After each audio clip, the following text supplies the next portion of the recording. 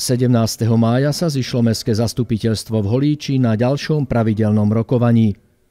Všetkých 16 prítomných poslancov súhlasilo s tým, aby v zmysle zákona o obecnom zriadení primátor vykonával zmeny rozpočtu mesta Holíč do výšky 5000 eur v každej rozpočtovej položke schváleného rozpočtu mesta. V ročnom objeme ide o maximálnu výšku 30 tisíc eur, s tým, že na nasledujúcom zasadaní Mestského zastupiteľstva budú poslanci oboznámení s uskutočnenými zmenami. V súvislosti s investičnými zámermi mesta primátor poinformoval o aktivitách, respektíve projektoch, v ktorých bolo mesto z pohľadu získaných financií úspešné. Mesto bolo úspešné v žiadosti o nenávratný finančný príspevok na rekonštrukciu predškolského zariadenia v oblasti Lúčky na ulici Lúčky. Získali sme necelých 1 50 tisíc eur. Ja predpokladám, že okrem vlastného kofinancovania tých 55 tisíc, že tam budú e, práce naviac, ktoré nám boli škrknuté zhruba v objeme okolo 150 až 200 tisíc eur, čo nie je málo. A na druhej strane budeme mať zrekonštruované všetky škôlky a všetky školy jednoznačne vnímam pozitívne 200 tisíc príjem na kompostéry, tým je zadozučinené e, zákonu environmentálneho, e, na čo sa týka e, rozložiteľnosti biologického odpadu. Hlavne sa bavíme o tráve a listí, čiže každá jedna domácnosť ho nafasuje a tým sme si splnili literu zákona. Nedá mi, aby som aj nespomenul e, úspešné pokračovanie a realizáciu projektu na koniárni. Strecha je hotová, čiže teraz sa môže začať už na tých e, otvoroch, či už sú to okna, fasády vonkajšie, lebo ten,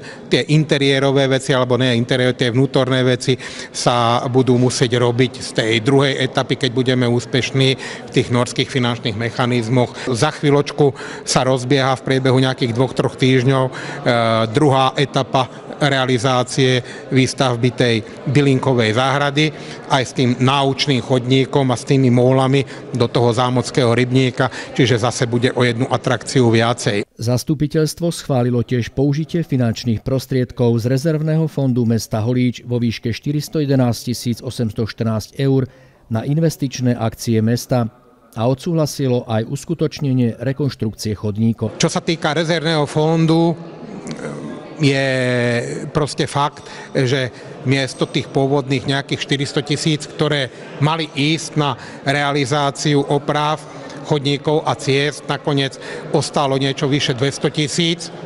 Tie sa nakoniec, či už na pracovnom zastupiteľstvu alebo dnes, schválili na tie chodníky, dokončenie Mirka Nešpora a zase Hvezdicovo od hlavnej križovatky ďalej pokračujeme z toho centra systémovo a koncepčne, na, či už je to na ulici Sasinkova, e, Kátovská, respektíve Mojzesova. Tento rok sa začne a preinvestuje sa z toho rezervného fondu, ktorý máme na správe mestského majetku na našej 100% e, obchodnej spoločnosti zhruba za tých 200 tisíc eur a na druhý rok by sa dokončil ten saunový svet z toho úveru účelov viazaný, ako som hovoril, či už na to obravnú infraštruktúru, respektíve, respektíve na chodníky.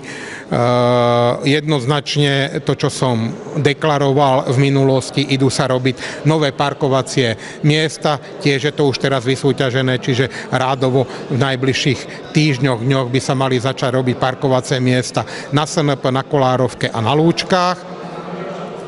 A eh, aj určitú časť zase by mala byť preinvestovaná, myslím vo výške okolo 20 tisíc eur na tie nové ohrady pre kontajner. Mestské zastupiteľstvo tiež schválilo plat hlavnému kontrolorovi vo výške 2057 eur mesačne s účinnosťou od 1.1.2018. Deviati poslanci hlasovali za, siedmi sa zdržali.